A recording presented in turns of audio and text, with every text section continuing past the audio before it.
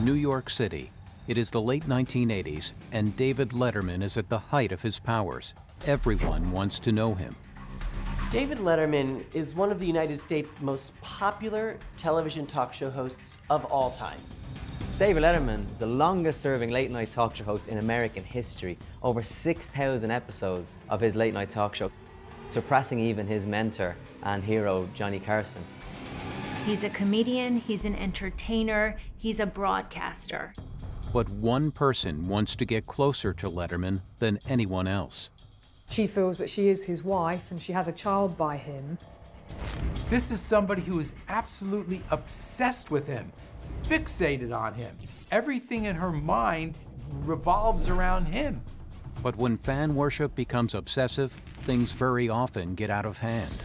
She was a big admirer, but it just went way too far. Some people believe that she was actually relishing the attention, but that she didn't fully understand the magnitude of what she was doing and how wrong it was. This is the story of David Letterman's stalker and how she tried to get closer to the star, and how this celebrity obsession was always going to lead to a tragic end. In the mind of that stalker, it's not a fantasy, it's real. They will do anything it takes to meet this person, and they will not stop at anything. In her mind, there was only one thing to do.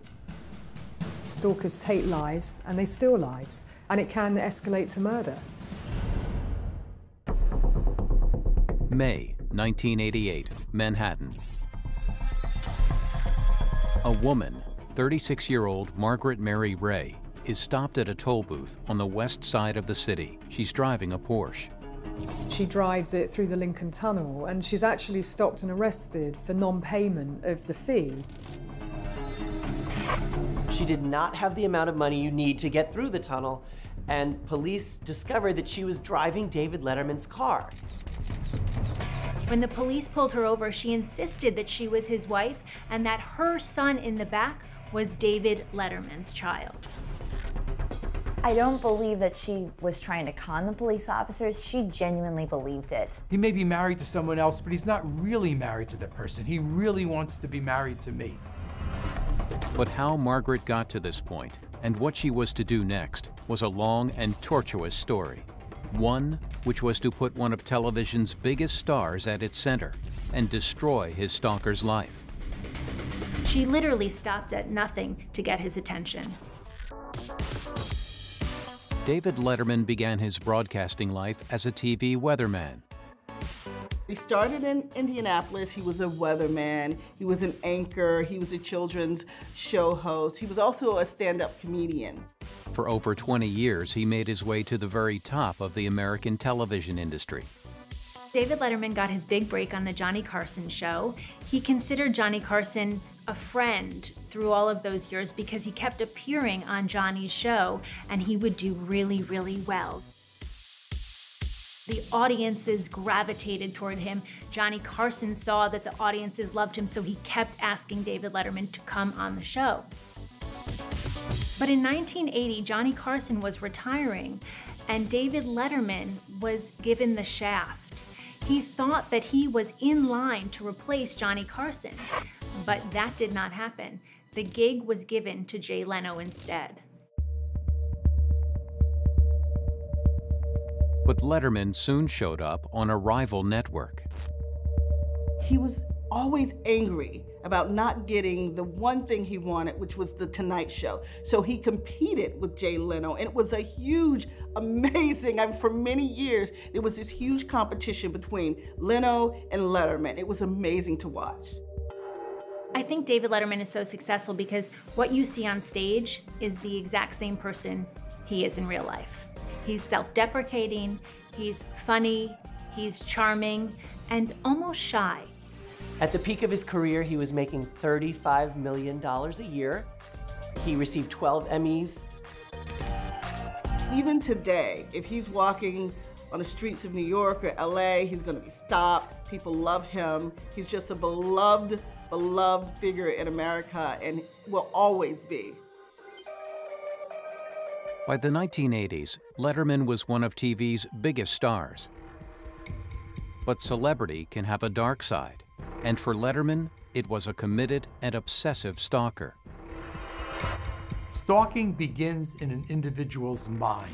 It starts as a fantasy, the fantasy develops into an obsession, and then following the obsession, the individual acts on it. To really understand why people are drawn to celebrities as the ones they want to stalk, it's helpful to also think about why they wouldn't stalk other people. You wouldn't really stalk your neighbor because you already have access to them. They might not be as glamorous, they might not be as photogenic. However, celebrity is glamorous. Uh, you have a lot of information about them out in, in the public. They see them on social media. They see them going to fancy restaurants, walking with their children down Fifth Avenue, seeing shows, having access to things that they want access to. And they think if they just become friends with that celebrity, that they could have that same exact life when someone becomes so obsessed with this person that they call them, they follow them, they email them, they will do anything it takes to meet this person, and they will not stop at anything. So the whole thing is more of a fantasy, but in the mind of that stalker, it's not a fantasy, it's real. And the person who began to see David Letterman in this context was Margaret Mary Ray, also known as Peggy. Margaret Mary Ray was born in Grayslake in Illinois in 1952. Uh, she was one of four children. She was fairly middle-class family. Her parents were George and Loretta. For all accounts, she seemed to be, you know, a, a model child in a beautiful family. She was uh, well-liked, popular, the light of people's eyes. She was very engaging and charismatic. By all accounts of those who knew her, her mother and her friends, they said she was a very bright, uh, articulate, intelligent, woman who actually could have been anything that she wanted to be. When she graduated from high school, she started going to nursing school and would have completed it except for the fact that she ended up getting married. She ended up marrying a man called Gary Johansson and having three kids with him. Very normal beginnings for Margaret. It appeared, however, that all was not well in the Ray family. Mental illness, specifically schizophrenia, had affected two of her siblings. Schizophrenia is the genetic disorder. It tends to run in families. She had, I believe, two brothers that were schizophrenic, and that's a really bad sign. And it's a major illness. Schizophrenia has to be taken as seriously as could possibly be. Her father, George, had suffered from schizophrenia from about mid adolescence. He didn't take any medicine or receive any formal treatment for his schizophrenia, but he would have psychological breakdowns, and it seemed that he would treat it through his own coping through alcoholism and drinking, um, and that was his way of dealing with it. You know, these were all taking place at a time when mental health was not discussed in the public forum. People didn't talk about it. There was a stigma about getting medication, getting treatment, and seeking help. So people were afraid to accept and admit that they needed help. Schizophrenia usually manifests itself in early 20s. In her case, I think it was a little bit later. Unfortunately, Peggy's two brothers also suffered from schizophrenia. Her, her brother Bill drove his car full speed into a tree and then her brother uh, David, who at only 22, poisoned himself with carbon monoxide. So they both died very young. For her family, who was very close knit, to have this happen to several of her brothers, you can imagine the pain that must have caused for her because she had seen this happen not once, but twice, and knowing that the same thing could very well have happened to her too. Despite the potential for stability, Peggy continued to behave erratically.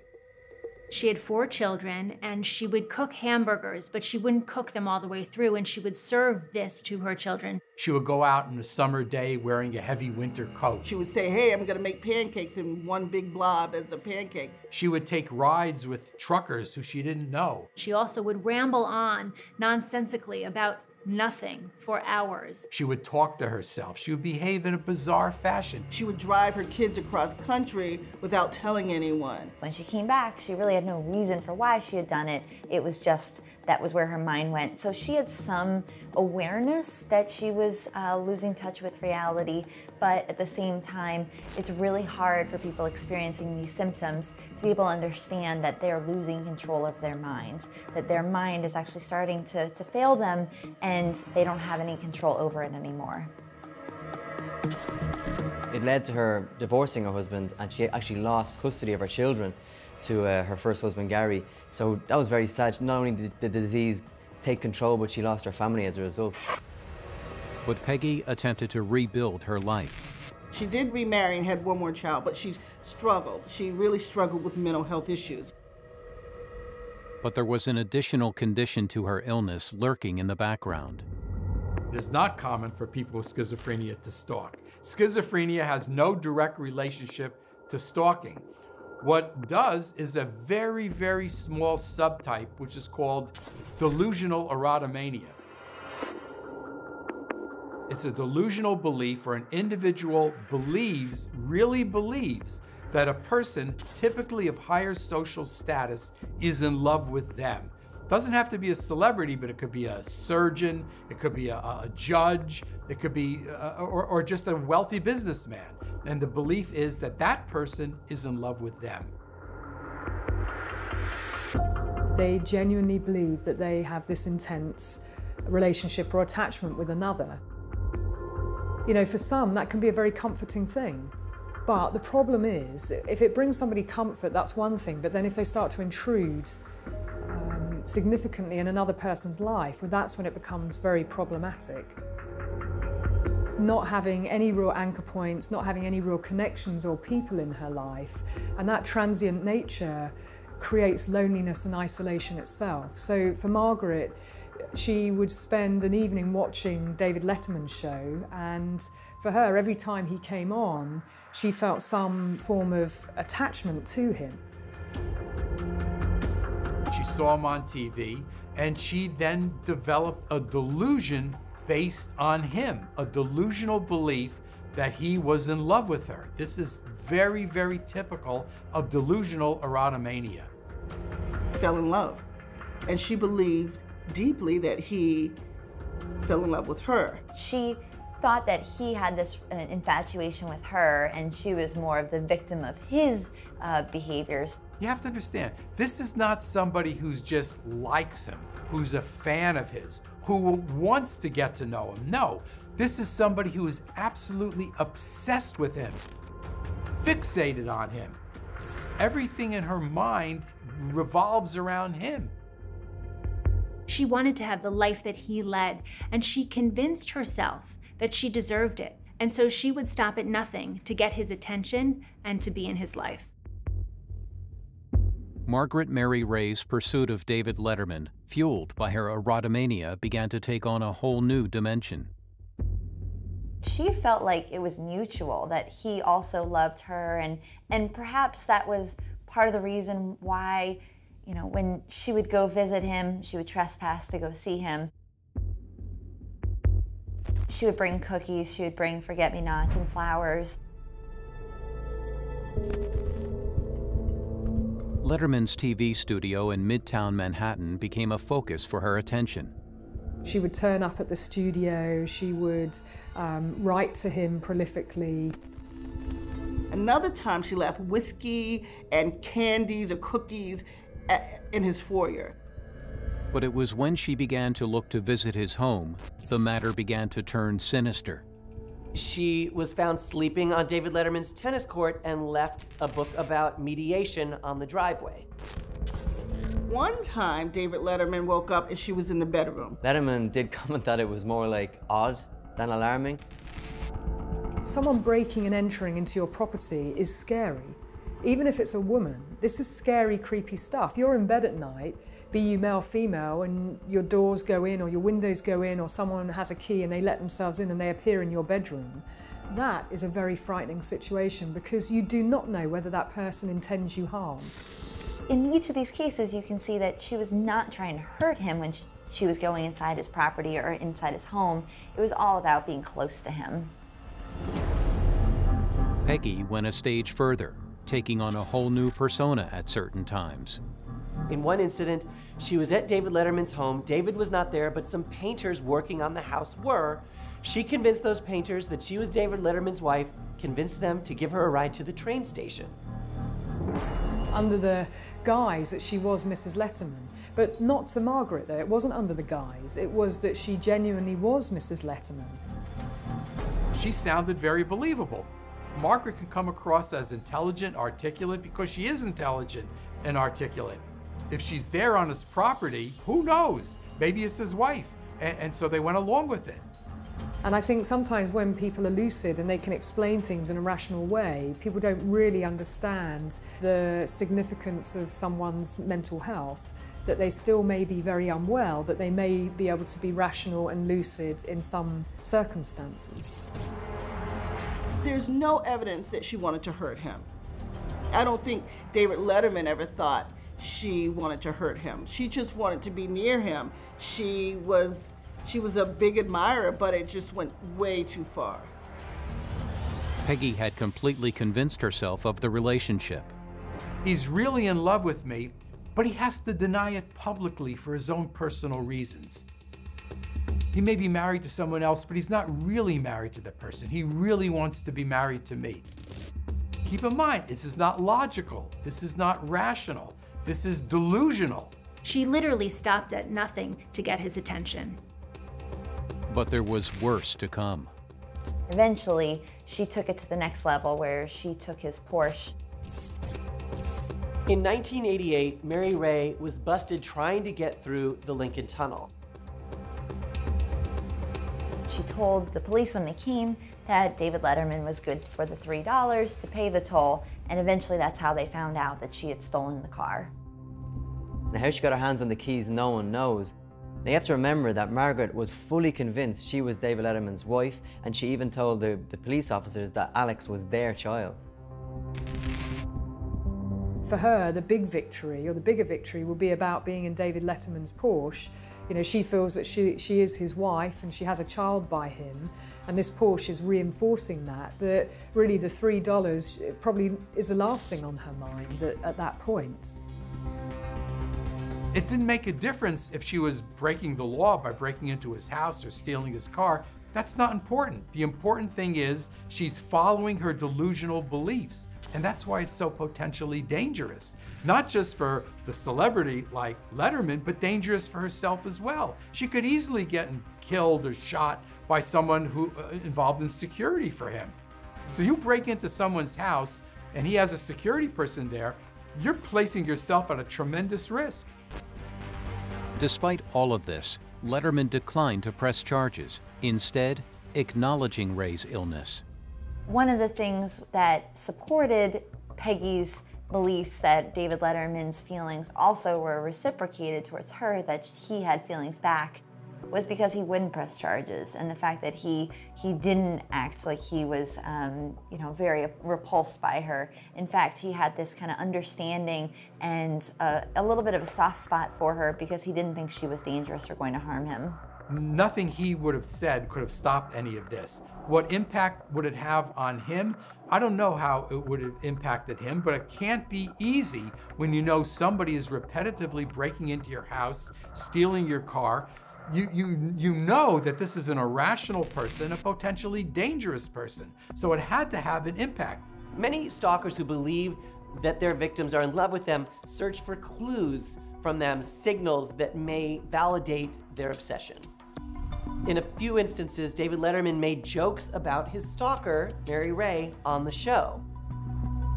He has he had this famous top 10 list that he, he would always do every single night. So right before he was leaving for CBS, he said he was going to have to change. This was one of the top 10 things he had to do before leaving. And he said he was going to have to change his address for that lady who keeps breaking into his house. And so that's quite an unusual thing to do, and he continued in that vein that his show was on earlier, therefore she'd have to uh, break into his house much earlier. And it was all sort of tongue in cheek stuff. David Letterman is a comedian, so I think he saw this incident that was happening to him as just something that happens to him. And, and comedians are like anthropologists in a way, and they include the things that are happening to them into their lives. And I think that's exactly what he was doing. Had he had to do it over, he probably wouldn't have done it. It's one of those things maybe a writer gave to him. It sounded funny at the time. It actually was pretty funny um, but it can be potentially dangerous. You don't know how that's going to set her off. One might wonder if Mary Ray found that very exciting and validating that he was recognizing her on his own TV show, and that might have been somewhat encouraging to her that, that he was noticing her. I think she thought that was a signal that a, maybe a wink and nod that I see you, I hear you, and I love you. And of course, that's not what David Letterman was saying. While he did make light of it, he never once named her in those jokes because he was very compassionate towards her illness and he didn't want to stigmatize her. He understood that schizophrenia was a very serious mental illness. I guess he decided he was better off making light of it and moving on with his life than getting bogged down. He handled it with compassion. He did not want Peggy arrested. He said it wouldn't be humane to arrest her. He felt sorry for her, really, and he wanted this to be handled in a gentle way. David Letterman's response to it is really unhelpful on a public, you know, massive platform. I spend my, uh, a lot of my time saying stalking is not a joke, it's not romantic, it is a crime. It's a serious crime and it ruins lives. Stalkers take lives and they steal lives. And it can escalate to murder. So you have to take it seriously.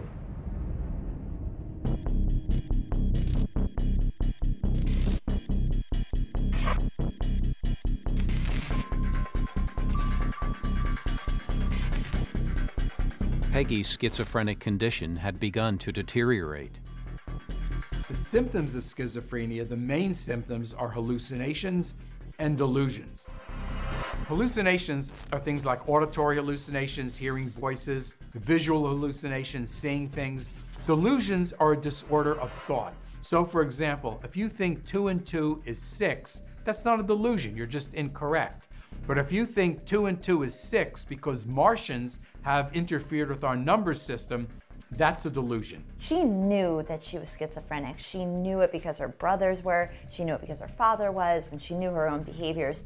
But that doesn't mean that in the moment she has control and can recognize her behaviors as being due to her mental illness and then not do them. It just doesn't happen like that. With that unraveling, she decided to become homeless. And she was known to be homeless, but traveling around being itinerant she was creative because she always managed to get around the country and get to these places with little of any money. Truckers got to actually know her, and she even worked out how to use citizen band radio, tuning into that. So, yeah, truckers would sympathize with her and give her lifts where she needed to. Sometimes she'd even arrange to get lifts to these guys. But yeah, no one knew her where she would be day to day because she was leading a very erratic lifestyle her mother, you know, and indeed her children saw her unraveling, but she made a conscious choice that she wanted to hitchhike across America and she wanted to, um, you know, sofa surf and, and live in this particular way. So for them, you know, they just felt what more could they do? If somebody refused, like Margaret refused their help, there wasn't much that they were able to do about that. The sad truth is that she became one of America's statistics, homeless and mentally ill. This is one of the saddest things. Um, we see this relationship between mental illness and homelessness. It's hard for people with that level of mental illness to keep down jobs, even be able to pay their mortgage, pay their bills, do things that we would have to do every day in order to, to, to be able to survive in society. But it's interesting too that while she was going, you know, homeless and going from shelter to shelter, Peggy had this larger than life persona where people were very drawn to her and they wanted to help her. And she was one of the more recognizable figures in the 1980s when she was going through all of this, particularly because she had this charisma that people were really drawn to. Once the illness took hold, she had a very rapid and a very severe deterioration. That doesn't happen in all cases, but it happened in her case. Between the late 1980s and early 1990s, Ray continued her random visits to Letterman's studio and home. Peggy taunted David Letterman over and over and over again. In fact, she was found trespassing eight times at his property. At what point would she want to spend time with David Letterman? Or maybe she wants to get into bed with David Letterman, whatever else. And you do tend to see escalation in those cases. Whenever someone comes onto your property and in your home, that's a very violating feeling, whether you're famous or not. So I think that that gets inside your head. You have to always wonder, when's that going to happen again? Am I safe? Are my family and friends safe? Is my wife safe? But I wonder what those around him felt and whether she had left anything for him that was more sinister. Um, whether he then may have felt more concerned for his safety or for his wife or for people in his immediate environment. I think that is something that you can't escape. Once someone invades your space, that is something you don't ever forget. But eventually, David Letterman felt that for the safety of his family, he had no option but to press charges. Even though he was ultimately pressing charges against her, she still saw it as this very unique time that she could be with him. Ray and Letterman now faced each other in court. One thing we see very frequently with stalkers is when they are able to get time, particularly in a public way, with the person that they're stalking, it's a big deal for them. They're in the same room together. They see each other. The victim knows who the stalker is. And so she knew she was going to see Letterman. She'd be 20 feet from him in court. She got dressed up in peach colored gloves. She was glowing as if she was on a date. This was her time to shine. Some people believe that she was actually relishing the attention, but that she didn't fully understand the magnitude of what she was doing and how wrong it was. Margaret Ray eventually served a total of 34 months in jail and psychiatric hospitals for stalking Letterman. Between uh, 1989 and 1994, Margaret was convicted of trespassing and related charges in five separate trials. Now, initially, she was deemed to be too mentally unwell to stand trial, so she ended up in a psychiatric ward. When you're in a facility, they can maintain the drug treatments and they can become quite effective. The problem is is when people are under those drugs, they can often convince themselves that they don't need them anymore, and that's when all of this behavior can come flooding back. She did not like taking medication. She didn't like the side effects of the medication, weight gain. She would think illogically, and um, she just determined that the medicine wasn't right for her. Not a good presentation, but obviously the woman on the other side of the lens is also uh, in needing of medication extreme lethargy. So she was very tired. Um, there'd be weight gain. And there's also this sense of cloudiness. A lot of people who take schizophrenia medication feel like they're, they're in a haze. They're not quite present. They're just walking through life, but almost like a dream world. I would like to be able to get out and have a hot meal at the table and a pot of tea before dusk and um, uh, a, a, promise to appear in your court, but not. I, I have a speaking engagement in Kentucky. Sometimes the thinking that they enjoyed when they were psychotic is reduced as a result of the medication. Another reason is a lot of people don't think that they're sick. Their lack of insight into their own illness is actually part of the illness. So it can be very, very difficult to treat patients like this, particularly if they're not cooperative, and many times they're not. Their lack of cooperation is part of their illness. Many times I have submitted commissary requests for the obligatory stamps and envelopes. The man in charge of commissary has not delivered my but equally, you can have somebody who takes the medication for some time and then they believe that they're okay, and so they stop taking the meds. And, you know, again with Margaret, that happened later on in life, and it's then that they start to relapse. However, oftentimes they get released and the side effects of those medicines or just the burden of refilling prescriptions, seeing a doctor routinely, these things are too much for that person to keep up with and they choose not to go keep their medications up and so they go back into that initial cycle of all the original behaviors that got them in jail or in that psychiatric facility to begin with. I think stalkers in general want attention, and then this played out in the media, sort of adding fuel to her fire. This made her invigorated. This was great. She loved that her name was in the paper, her name was in lights, people were talking about her, and it just made her pursue her agenda even further. After her release, Peggy's attention shifted away from Letterman and to astronaut Story Musgrave. In many stalking cases, they switch obsessions. They go from one celebrity to another, from one person to another. In Margaret's case, she switched from David Letterman to a very famous astronaut. For some reason, and nobody really understands why, she became fixated on him. In the space world, Story was an icon. Story Musgrave was the second astronaut to fly on five space shuttles and six space flights. He was a very, very smart man. She saw him as brilliant, and here we go again. He's in love with her, he wants her. She went down to his uh, place where he lived, and all the rest of it. One of the first things that she did was send Story packages. Uh, they were anonymous, she didn't know that they were from her specifically. She started writing him letters asking could she have an interview with him. She masqueraded as a reporter and set up an interview with him to talk about space travel and his life as an astronaut. In 1994, she conducted the interview at the Johnson Space Center in Houston. She got in. He invited her to the Space Center. They met face to face, and he noticed something curious. She wasn't taking any notes. But Peggy, the stalker, had sent him packages. So when she left, he compared the address on the package to the letter requesting the interview, and he put two and two together and realized that this was, in fact, his stalker. That happened, and of course, she was also stalking David Letterman at the same time, so she was a, a serial stalker.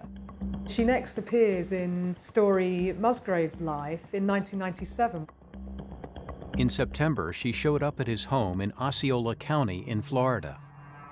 Peggy walks to his home, 30 miles from Orlando. And through the night appears in his garden, turns on a hose. She's stripped naked, she sprays herself in water, and she's screaming his name. And that she would die for him, and that she loves him, and that he's a man of integrity and intelligence. So she's saying very coherent things at that point. For her, this is just, you know, rational behavior, but of course, for any outsider seeing this, this is not. But she didn't have complete control over her functions at this point. The only thing that she was really driven by was this obsession with Story Musgrave. The police are called and she's arrested for trespassing on his property. So again, uh, were these dots joined up in terms of her behaviour? She felt compelled to do it, and for people who are going through an extreme form of this psychosis, there is no rationality. They feel impulse and they act on it. Just like when we get hungry and we eat, it's the same thing for them.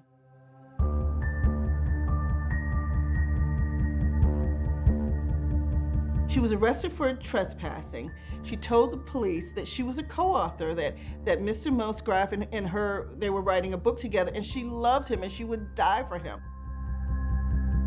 It's just another a very, very irrational, attention-getting act that just speaks to how sick she was at that time. Peggy was truly devastated when the entire thing with Story Musgrave went south. That was that erotomania where she thinks there's a true relationship, that it's reciprocal, that he loves her, and she loved him back, of course. So when it became apparent to her that that wasn't the case, that he didn't love her. He did press charges against her, um, and very quickly. It was really devastating. It was becoming clear that Peggy was reaching a more distressing stage of her illness. She does go to another facility, and it's there that you know she becomes violent to other people. Certainly, one of the officers who she kicked, and another who she threw urine at. The propensity to become violent was very clear in Margaret Ray's case, and therefore this case should have been taken seriously in terms of threat and risk. And perhaps, you know, David Letterman and Story Musgrove didn't know the full extent of her behaviour, otherwise they, they would and, and should have been concerned for their safety and others around them. Margaret Mary Ray had achieved notoriety as the obsessive stalker of an international television celebrity and of a famous astronaut. Her stalking of David Letterman, while not malicious, could easily have become dangerous, even life-threatening. But by 1998, things had come to a head for her. She was released from the mental hospital and she couldn't get her footing in the real world. So she figured, let me go to Colorado. She felt that the world was laughing at her. She wanted to go back and change everything that happened, but of course she couldn't. So this was something that she really struggled with. People that um, have these very, very severe delusions, they're so tormented. Their life is such a total mess that she basically just couldn't take living anymore. She also knew being on her medication just made her incredibly unhappy. And ultimately, she made the, the choice. In her mind, there was only one thing to do, and her brothers had already done it.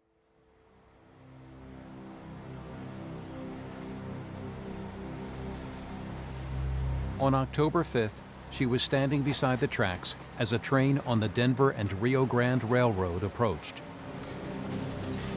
She did what she knew, and what she knew was to take her life. In her mind, stop the pain, the pain that she just, she had no control of. She laid down on the path of a coal train and waited.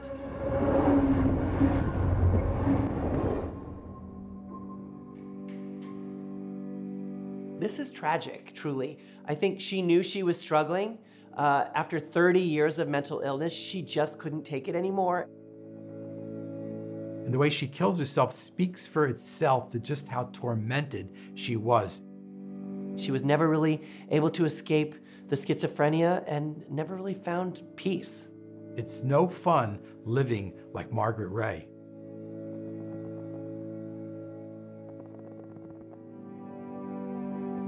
In New York, Letterman reacted to the news of the death of the woman who had become a part of his existence for some time. David Letterman was obviously very impacted by this. He said this was a sad end to a confused life and that he was disappointed it was a terrible outcome. It was interesting that David Letterman actually made a statement about her committing um, suicide and that he said that you know, on one level she was a creative genius, but that he also uh, felt this kind of odd sense of loss. That it was almost like losing a member, you know, a relative uh, in his family. You know, she always pretended to be a relative. She pretended to be his wife.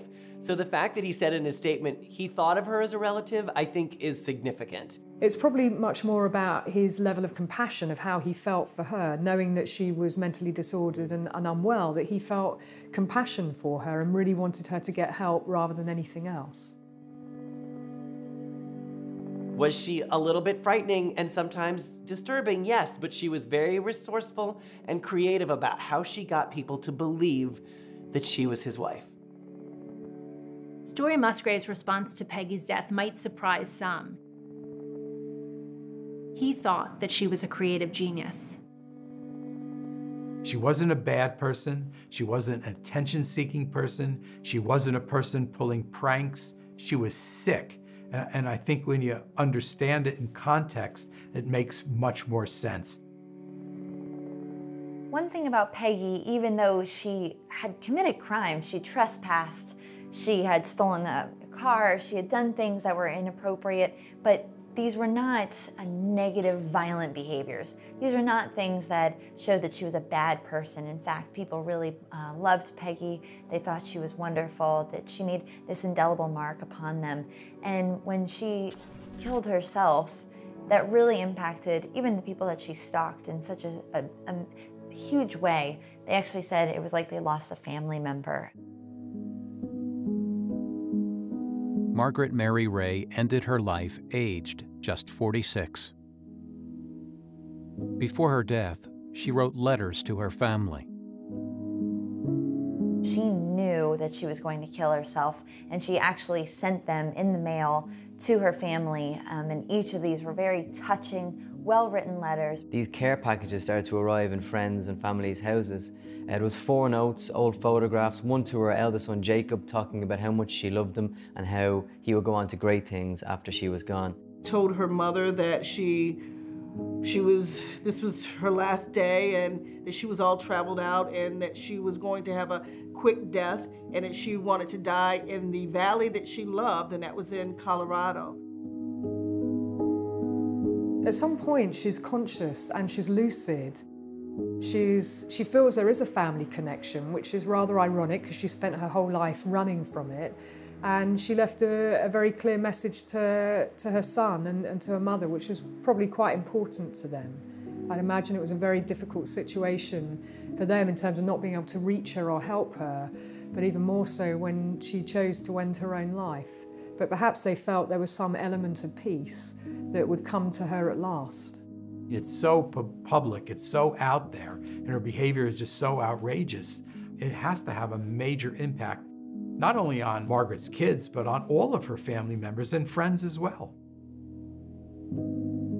You know, what happens in some of these cases, particularly when they commit suicide, people look back at that and say, I knew she was disturbed, I knew she was sick, I knew she was needed help, but I really didn't think she was that tormented. It's a good lesson, I think, for anybody, for all of us to, to realize that some of these people, this isn't prankster behavior. This is someone who's really, really mentally ill. We see a lot of tragedy come out of schizophrenia, but that being said, things have gotten a lot better in the two decades since when uh, Peggy killed herself um, because of her mental illness. Medicines have improved, treatments have improved, and even the stigma surrounding it has improved. So hopefully, people now today will be more willing to seek treatments, um, seek better treatments, and ideally um, not take the same path that Peggy did in her life.